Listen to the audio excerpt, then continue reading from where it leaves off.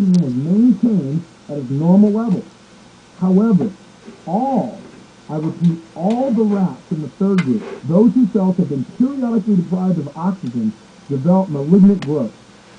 This was followed up a year later, and the malignant growth remain malignant, and the normal cells remain normal.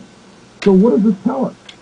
Well, many researchers now believe by studies like this that lack of oxygen seems to play a major role in causing cells to become malignant or cancerous. That's the key element here.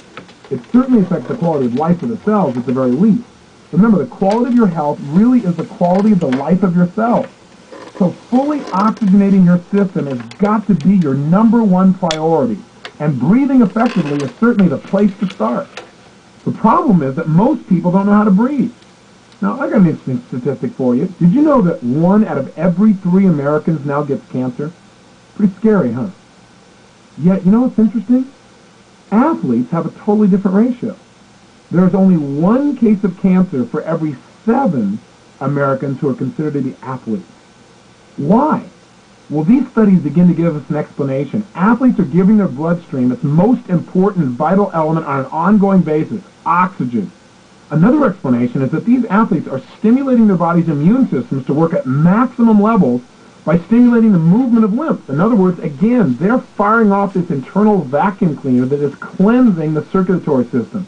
So more oxygen is getting to the cells and there are less irritants in the system. Let me share with you what my research shows is the most effective way to breathe in order to cleanse your system. You should breathe in the following ratio. Inhale for one count, hold for four counts, and then exhale for two counts. So for example, if you inhale for four seconds, you'd hold for 16 and you'd exhale for eight. You follow me? Why am I having you exhale twice as long as you inhale? Because when you exhale, that's when you're actually eliminating toxins via your lymphatic system. Why hold four times as long? That's how you can fully oxygenate the blood and activate your lymphatic system. In addition, when you breathe, you should start deep in your abdomen, like a vacuum cleaner that's getting rid of all the toxins in the blood system. Let me ask you another question. How hungry do you usually feel after you exercise? Do you want to sit down and eat a big steak after you run four miles? We know, in fact, that people don't. Why not? Because during exercise, through healthy breathing, your body's getting exactly what it needs most. So here's the very first important key to the living health system. You must stop and take at least 10 deep breaths in the ratio I've just described at least three times a day. What's the ratio again? Inhale one, hold four, exhale two. So let's just try it. Let's have you do it. Either stand up, or you can do this if you're in your car sitting down. But ideally, if you're not in your car, stand up. And here's what I want you to do. Shake your body out, get a little bit loose. Stand there for a moment, and what I'd like you to do is take a deep breath in, starting in your abdomen and breathing in through your nose. And then while we do it, we're going to count to seven as you inhale. So you're going to continue to inhale all the way up to seven. Then we're going to hold for four times that, or 28. And then we're going to have you exhale slowly through your mouth for a count of two times that, which would be 14. Now, I don't want you to strain yourself on this. If this number is too large for you in terms of inhale or holding, then go ahead and let it out. You're not to stress yourself in any way. You can start smaller and begin through a period of time to build up your lung capacity.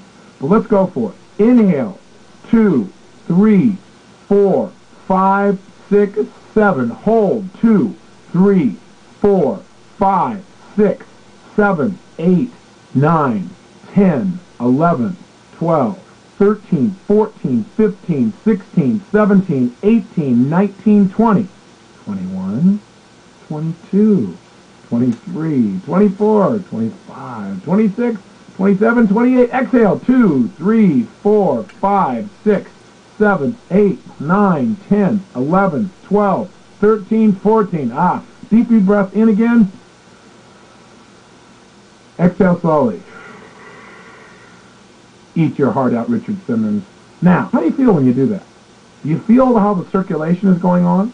If you'll do that 10 times, 10 simple breaths like that, again, the ratio is the same, the numbers can change. Inhale 1, hold 4, exhale 2.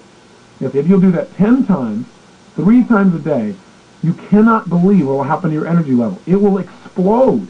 Because what will happen is you'll be cleansing your bloodstream, more oxygen will get to your cells, the more oxygen is there, the healthier and the stronger they are, the more power you have as a human being.